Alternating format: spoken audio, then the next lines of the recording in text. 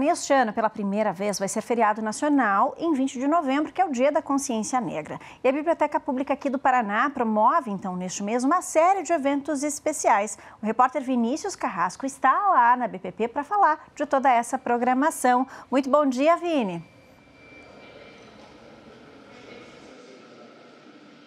Bom dia, Giovana. Bom dia a todos que acompanham o Jornal Paraná em Pauta. Olha só, tem uma série de ações e a programação está bem diversificada. Entre essas ações, essa estante monumento aqui com mais de 500 obras de temáticas e autores negros, né? Mas tem ainda roda de conversa, contação de história, lançamento de livros. E quem vai dar detalhes para a gente sobre essa programação é o diretor da Biblioteca Pública do Paraná, o Luiz Felipe Leprevô. Está bem diversificada essa programação para todas as idades, né?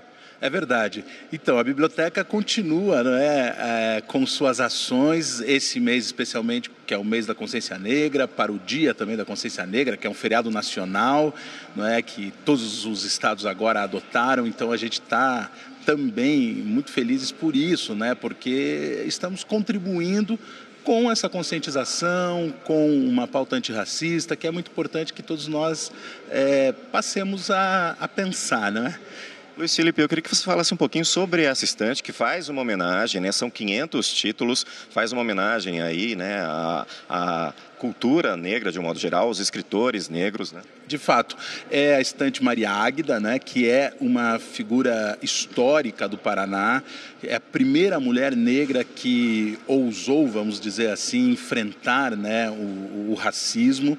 E então a gente, tendo essa referência, achamos que era por bem ter essa figura como símbolo aqui na Biblioteca Pública do Paraná e a estante tem de fato 500 livros, mas não são apenas esses livros, não é que nós temos, que são livros de uma curadoria exemplar, é, escritos é, e tematizados, não é, sobre a questão negra e escritos por pessoas negras. Mas a biblioteca no seu acervo de modo geral tem muitos outros livros que também trazem, não é, essas temáticas, também escritos por figuras negras. Então, é, ela é de de fato um, um, símbolo, um monumento, não é, que está aqui para nos lembrar sempre da importância é, de termos essa consciência e para também atrair as pessoas, porque esses livros todos que estão aqui podem ser emprestados também.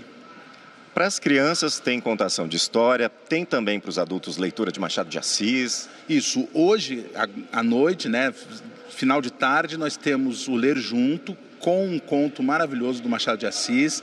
É, nós temos rodas de conversa, teremos a presença aqui de poetas, mulheres negras lançando os seus livros, é, para as crianças também, contação de história. Então a biblioteca segue é, bastante diversificada, bastante inclusiva, democrática e fazendo o seu dever público, não é? Que é atender bem a população, atender às demandas do nosso tempo. Tudo isso é muito importante para nós.